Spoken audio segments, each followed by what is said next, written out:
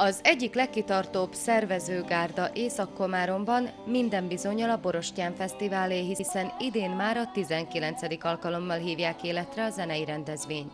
A Borostyán Fesztivál célja, hogy meghonosítsuk itt tájainkon is a megzenésített versek műfaját, és az örökzöld dallamoknak a, az értékeket átvinni, és, és hát az élőzene varázsát ezáltal közvetíteni.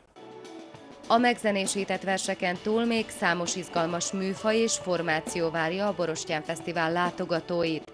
Érdemes ellátogatni a zenés rendezvényre, melynek helyszíne a hagyományokhoz hűen az Észak-Komáromi Tiszti Pavilon amfiteátruma. Három fő tematika köré csoportosul a, a zene, zenei rendezvény.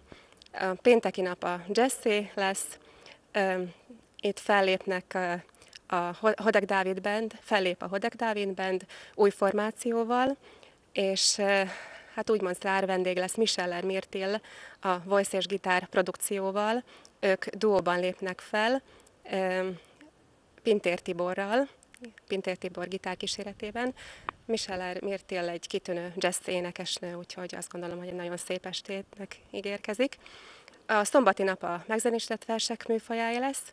Itt fellép a Pandolin, ők először a fesztiválon, a Fülke zenekar és hát a házigazda Borostyán együttes. Vasárnap a Magyar Dal napja szellemében zajlanak a rendezvények, fellép a Magyarok Musical Band és rajtuk kívül a Memória Társulat.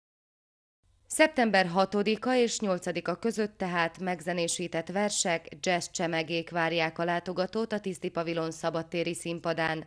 A rendezvényel kapcsolatban bővebb információt a Borostyán Fesztivál Facebook oldala nyújt.